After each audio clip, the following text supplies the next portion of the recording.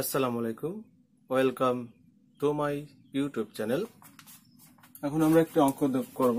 অঙ্কটা দেখুন যে বলা হচ্ছে বারো ও ছিয়ানব্বই এর মধ্যে এই দুটি সংখ্যা সহ কয়টি সংখ্যা আছে যা চার দ্বারা বিভাজ্য? এই টাইপের অঙ্ক কিন্তু প্রায় চাকরির পরীক্ষায় এসেই থাকে। মানে এই অঙ্কগুলো করার জন্য, অর্থাৎ এই টাইপের অঙ্ক করার জন্য একটা সূত্র দিয়ে আমরা করব। সূত্রটি হচ্ছে শেষ পদ বিয়োগ প্রথম পদ। ভাগ হচ্ছে বিভাজ্য, অর্থাৎ যেটা দিয়ে আমরা বিভাজ্য করব, বিভাজ্য সংখ্যা বা পদ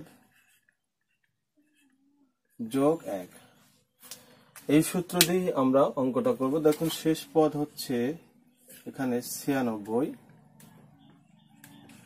আর প্রথম পদ হচ্ছে বারো, আর বিভাজ্য সংখ্যা হচ্ছে চার, আর যোগ হচ্ছে এখানে এক। তাহলে এখানে কি আসে? ছিয়ানব্বই বিয়োগ বারো, তাহলে চুরাশি। এখানে হচ্ছে চার, এখানে হচ্ছে এক। যদি করা হয়, তাহলে এখানে হচ্ছে দুই, এক, টোয়েন্টি ওয়ান, আর হচ্ছে ওয়ান, তার মানে টোয়েন্টি তার মানে বারো থেকে ছিয়ানব্বই মধ্যে বারো এবং ছিয়ানব্বই সহ মোট বাইশটি সংখ্যা আছে যাদেরকে আমরা চার দিয়ে ভাগ করা যায়, চার দ্বারা বিভাজ্য। এছাড়া আপনি অন্যভাবেও করতে পারেন, অঙ্কটা কিন্তু এভাবে না করে সূত্র মনে না থাকলে আপনি নিজেও করতে পারেন। দেখুন, বলা হচ্ছে এখানে বারো এবং ছিয়ানব্বইয়ের মধ্যে কোন কতগুলো সংখ্যা আছে যারা চার দ্বারা বিভাজ্য। তাহলে শেষ সংখ্যাকে আমরা ছিয়ানব্বইকে আমরা চার দিয়ে ভাগ করব।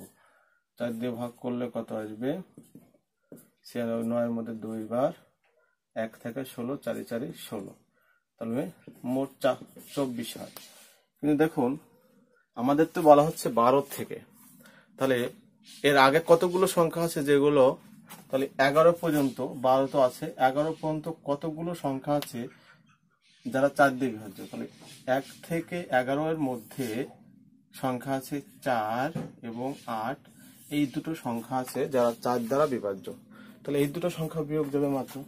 তাহলে এখানে চব্বিশ বিয়োগ দুই, তার মানে টোয়েন্টি টু। তার মানে এটাই হচ্ছে আমাদের অ্যান্সার। আর এটা হচ্ছে সূত্র দিয়ে করা। সূত্র যদি মনে থাকে সহজে হয়ে গেল। আর এভাবেও আপনি বের করতে পারেন। দুইভাবেই সম্ভব। সবাইকে ধন্যবাদ। আল্লাহ হাফেজ।